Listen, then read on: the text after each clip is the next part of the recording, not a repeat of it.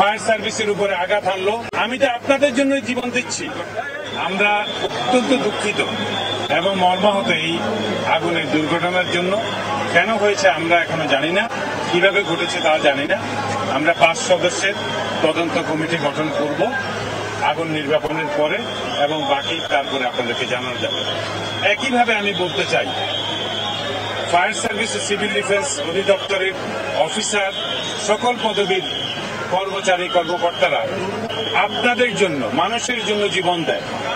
এই এক বছরে, গত এক বছরে তেরো জন ফায়ার ফাইটার শহীদ হয়েছেন, যারা অগ্নিবীর খেতাব পেয়েছেন। উনত্রিশ জন আহত হয়েছেন এবং আজকে আটজন আহত হয়েছেন। আপনারা যদি একটু আমার এই পিছনে বিল্ডিং এর দিকে দেখেন, কেন বা কারা ফায়ার সার্ভিসের উপরে আঘাত হানলো, আমার বোধগম্য নয়। কারা করেছে, কেন করেছে? আমি তো আপনাদের জন্য জীবন দিচ্ছি। আমি মিডিয়া আপনাদের মাধ্যমে জনগণকে বলতে চাই, ফায়ার সার্ভিস সকল দুর্যোগে আপনাদের পাশে সবার আগে।